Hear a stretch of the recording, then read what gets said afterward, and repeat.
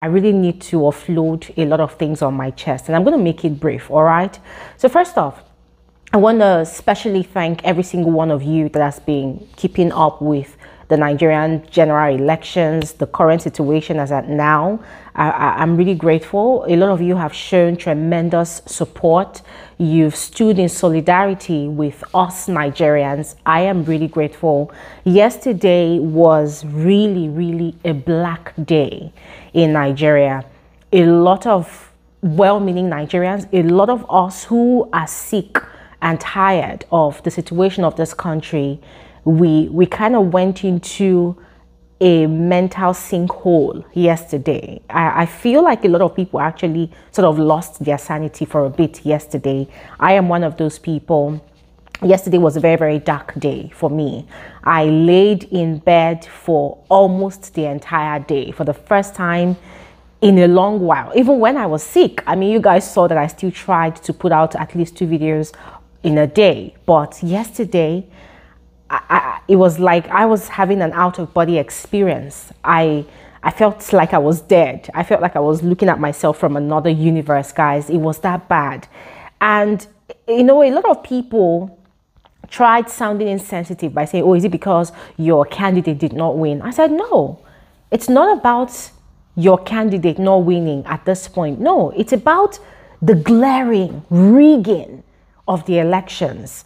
Nigerian youths came out en masse to vote on Saturday, guys. Saturday was the first time ever that I was I would ever vote in my life. Every time there was an election in my country, it's either I'm in school or maybe I'm not with uh, my voter's card or something, you know. So I was very intentional, and I wasn't the only one. There were a lot of people like me, a lot of people who were based in other countries. They also flew into the country solely because of the elections. And that's because people were tired. Everybody wanted the same change, still wants the same change. The international community, everybody, the whole world witnessed live sometimes on social media, you know, all the atrocities, the impunity that was displayed on that day by a particular political party. It was very glaring. For those of you that were watching CNN News, guys, it was all over the media. Touts, um, hoodlums, thugs coming out on the day of elections to, to destroy ballot boxes, to beat up people, to injure people. Guys, a lot if you want to keep up on this information, watch Arise um, News TV channel on YouTube here. You will see recaps of all of those videos playing out. Now, aside all of those atrocities meted out on voters, how voters were disenfranchised, the results became a problem the body in Nigeria that's supposed to safeguard the interest of Nigerians, the votes, the rights of Nigerians, they decided to be non transparent. Everything they promised Nigerians that they would do, they went back on their word. Till today, we're still waiting for results. Election that happened since Saturday. And guess what? The results that are being uploaded to the website where the results were supposed to be uploaded on the very day of the of the elections, guys, it does not match. It does not tally at all with the original results that was actually gotten on the day of the elections because a lot of people made it a point of duty to record the process of counting and the process of the, the, the, the, electoral officers recording the results. But guess what? The results that are being uploaded, they have biro cancellations. They have a lot of cancellations. In other words, they erased the original results and imputed their own results, all in favor of the party that has now been declared the ruling party in the country. So Nigerians are tired. Nigerians are fed up. At this point, there's tension everywhere. We don't know what's going to happen next. Protest is already building here and there in different parts of the country.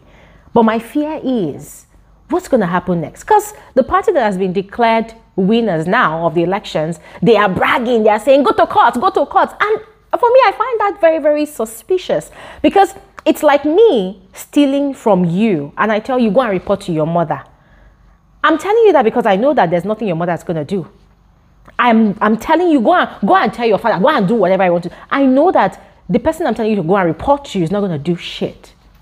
That is what they are saying to Nigerians. If you don't like the result, go to court, take it to court. And those of us that are Conk Nigerians, we know how the Nigerian judiciary system works. Sometimes it favors you, sometimes you weep, you weep blood because you're not going to get justice. So that is the current situation of Nigeria. If you see people, you know, acting strange, like they want to die, that's because people are scared of the future, of what's going to happen next. Unbelievable. I had been recording for a while without even realizing that my camera was not in focus. I mean, I can't go back now. I'm just going to continue anyways. Apologies about that, guys. So, another message. This one is to some Nigerians, in fact, all Nigerians living in diaspora. You're Nigerian and you are based in the US, England, wherever you are based. I want to use this opportunity to appeal to all of you to please try as much as possible to be very, very sensitive to the plight of us Nigerians that are still here, here in Nigeria. I'm saying this because yesterday someone really got on my nerves. So this person is a Nigerian, um, obviously now a, a, British citizen. Person is based abroad, and um, person called me and was talking about the elections. You know, oh what's happening. I heard this person won, blah, blah, blah. And I'm like, I'm not really happy about the fact that all these things happened and the electoral body still went ahead to declare a winner. You know, I was, you know, kind of venting. And this, this, trying not to use curse words, but this person, this idiot, uh, sorry guys, I can't resist it, but this idiot had the audacity to ask me if I think the election was rigged, and I'm like, I don't understand. You, of all people, have been following the news. You are aware. You have friends and some family members in this country whom obviously have given you reports, update of what's happening in the country at their own various polling units. And you have the audacity to ask me if I think the election was rigged. But, and the person was like, eh, you should go to court now. People should take it to court. If people are aggrieved, take it to court. After all, Nigeria is a very useless country. Nigeria is this.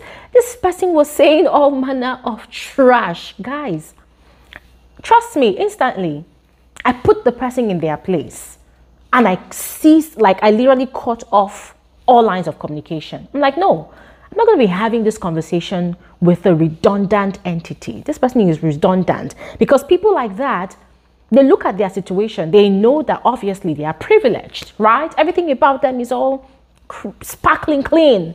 You know, they've got citizenship, they're happy where they are. And you know, the funny thing, this person is not the only person that's actually guilty of that nonsense the other people that has told me, you know, stories of how their friends will call them and say, Hey, Shebi, we told you to jackpot from this country. You don't want to jackpot. I eh, stay there and suffer what is happening. I'm like, how can people be so stupidly insensitive at this point in time? Now, here's the deal. Here's the deal. And this is not me coming from a place of, you know, being angry that Nigerians are finding better opportunities abroad. No. I mean, if you want to find greener pastures, by all means do so. It's, if it works for you, go ahead. But the question is can all Nigerians jackpot? Can every single Nigerian citizen, down to the beggar on the street, down to the market woman that can only make sales of maybe just 5,000 naira a day, can they jackpot from this country? So the fact that you can jackpot does not mean that everybody's situation has to be like yours. Not everybody can actually afford to jackpot. Not everybody has that choice open to them or that opportunity available to them. So, those that cannot afford to leave, they are here, hoping for a better present and hoping for a better future. And then you, that is privileged, you have the audacity to be making jests of people that are here, back home in Nigeria. And you think you have sense. You are mad. You think you have sense? No, you are empty. You are, you, you are delusional. Because at the end of the day, if Nigeria becomes a working nation today, tomorrow, anytime, these same people that are making noise, making all manner of insensitive remarks, acting stupid and dumb, they will still be the ones bragging over there in their green pasture environment that, oh, I am, I am actually Nigerian. They'll be bragging that they're Nigerian. And guess what? all the money they have made there, they'll be the first to rush back home to Nigeria to come and invest, to come and start up business. I have seen a lot of them. They come, they come and open businesses here and there. They bring their accent. Be wise. Don't allow the devil to use you this period. Be wise. But most of all, have empathy Know that people are sad at this point in time, not because their candidate did not win. I'm going to sound that again. Not because their candidate not, did not win, but because they were disenfranchised. People left their businesses. People put their lives to a halt. People traveled to their villages, to their hometowns to cast their vote, to exercise their civic right, their duty to Nigeria because they believed that there was going to be a change this time around, because they believed that things would be different this time around, based on the promises of the electoral body of this country. They went out, they did all they needed to do, they fulfilled their moral obligations to this country. And at the end of the day, look at what happened. Shambles, everything turned out to be extremely messy. And nobody has been held accountable for it. In Lagos State, all the havoc that was caused on that day, the governor of this state has never for once addressed it.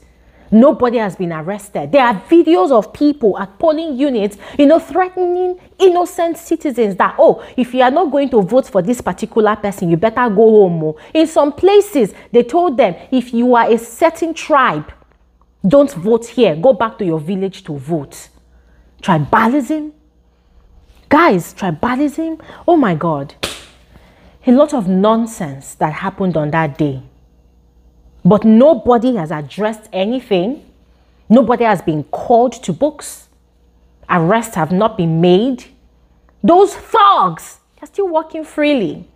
As a matter of fact, some of them they will be promoted to Major General Thug. That is what is happening in this country. And that is why Nigerians are, are, are, are angry. That's why people are filled with rage. It's not about the, the, the, the, the person that won or did not win. No. It's about the sacrifices that were made to make Saturday possible. And then our rights were trampled upon. And then to our so called Nigerian celebrities, I'm not going to generalize because it's not all of them, but some of them that have actually sold their conscience to the devil.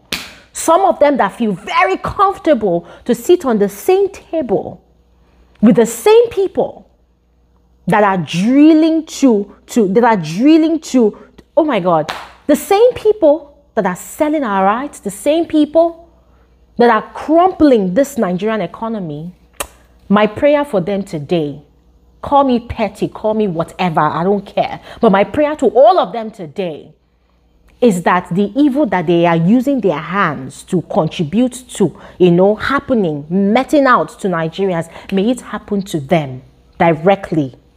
And when they come out to wail about it, may they not find the help that they seek. Because we needed a change. We still need that change. That is why people came out en masse to vote on Saturday. And that is why we took it upon ourselves to ensure that we performed our obligations to Nigeria. But then some people sat down somewhere because of peanuts, because of titles, because of an upgrade in status in this society. They contributed in truncating our rights. They contributed in selling our votes. May heaven not have mercy on them. May Nigeria, all the, all the horrible things that has been happening to Nigeria, may, may it also happen to them. So, ladies and gentlemen, I'm, I'm, I'm angry. I'm feeling a lot of dangerous emotions. There's so many things I want to say, but I can't really say what I want to really say. But I thought I should express how I really feel. And I know that I'm not the only one that feels this way. A lot of Nigerians are heartbroken. A lot of Nigerians are sad. We are sad. We are angry. I only hope that God helps this country move forward. I only hope that with the new government that we have, however this whole thing turns out, that that change that we seek in this country, that we find it, that the bad eggs be removed completely. that the bad eggs, the bad links, the bad lines that continues to connect impunity in this country and as kind of rooted impunity in this society, I can we can only pray that the God that we serve uproots them all in due time. And I pray that it does not take long. I pray that it happens very soon. I pray that it happens very soon because I would not want to grow old in this country and still be wallowing in corruption and still be wallowing in impunity. I pray that God answers our prayers sooner than later.